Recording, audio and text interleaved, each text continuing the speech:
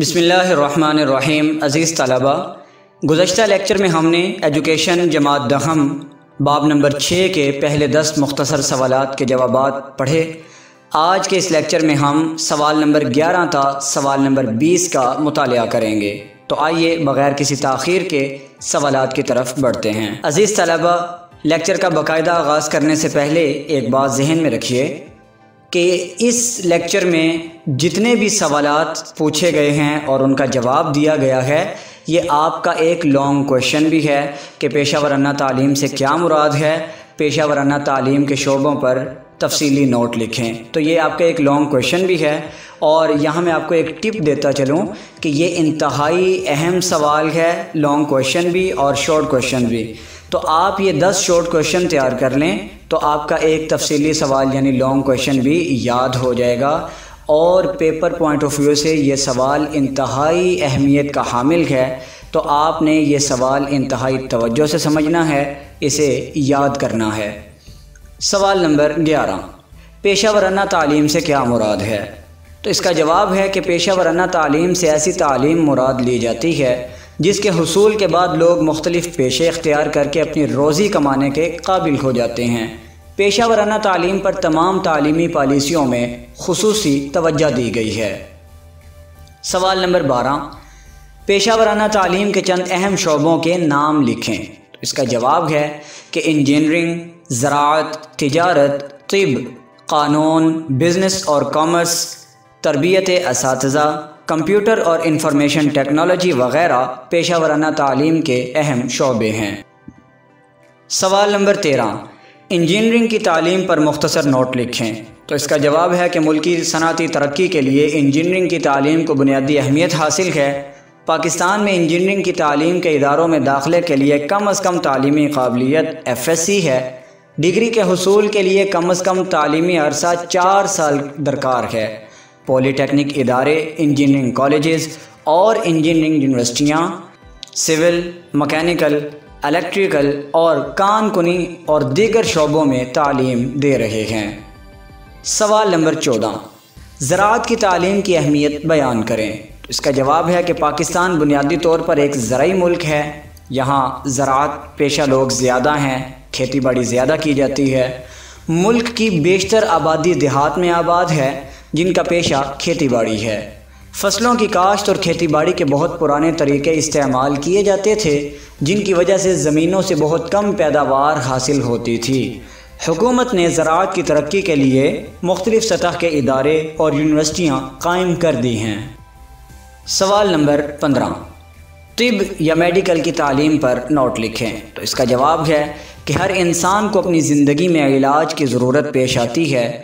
پاکستان میں اس ضرورت کو پورا کرنے کے لیے حکومت نے اعلیٰ سطح کے میڈیکل کالج اور یونیورسٹیاں قائم کی ہیں، جہاں ایف ایس سی کے بعد طلبہ کو انٹری ٹیسٹ کے ذریعے داخلہ ملتا ہے۔ نرسنگ ہسپتالوں میں کام کرنے والے دوسرے عملے کی تربیت کے لیے بھی ادارے قائم کیے جا چکے ہیں۔ سوال نمبر سولہ، قانون کی تعلیم کے بارے میں آپ کیا جانتے ہیں؟ عزیز طلبہ، اس کا جواب ہے کہ دنیا کے تمام ممالک امن و امان قائم رکھنے اور اپنے شہریوں کے درمیان عدل و انصاف کے لیے قوانین بناتے ہیں۔ اس کے لیے قانون کی تعلیم لازمی ہوتی ہے۔ پاکستان میں جج اور وکیل بننے کے لیے ایل ایل بی ہونا ضروری ہے۔ قانون کی تعلیم کے اداروں میں گریجویٹ طلبہ کو داخلہ دیا جاتا ہے۔ عزیز طلبہ، گریجویٹ طلبہ وہ طلبہ ہیں جو چودہ سالہ تعلیم یا B A, B S C وغیرہ کر چکے ہوتے ہیں۔ سوال نمبر سترہ۔ بزنس اور کامرس کی تعلیم پر نوٹ لکھیں۔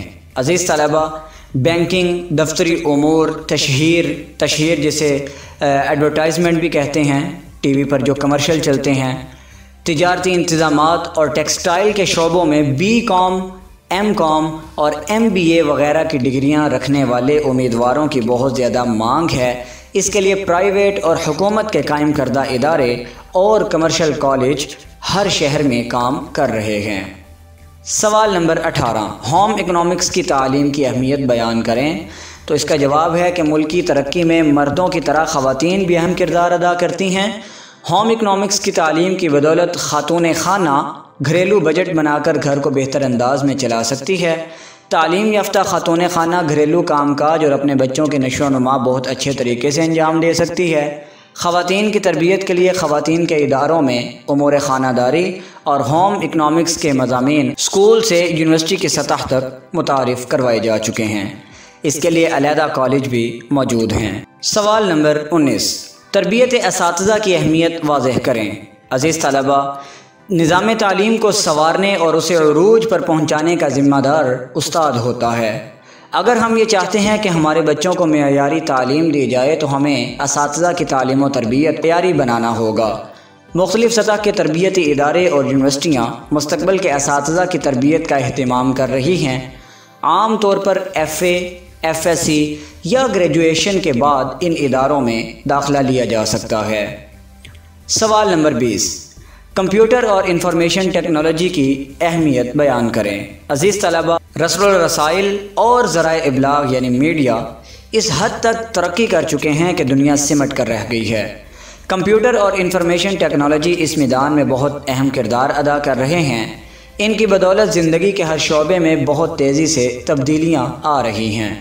کمپیوٹر اور انفارمیشن ٹیکنالوجی نئے علوم ہیں۔ ان کی بہت مانگ ہے یعنی ڈیمانڈ ہے۔ کمپیوٹر جاننے والے بھی اچھی روزی کما رہے ہیں۔ حکومت اور پرائیویٹ ادارے ہر جگہ کمپیوٹر کی تعلیم کا بندوبست کر رہے ہیں۔ عزیز طلبہ آج کے اس لیکچر میں ہم نے ایجوکیشن جماعت دخم باب نمبر چھ کے سوال گیارہ تب بیس کا مطالعہ کیا۔ اگلے لیکچر میں انشاءاللہ باقی سوالات کی طرف بڑھیں گے۔ تب تک کے لیے مجھے اجازت دیجیے اللہ حافظ۔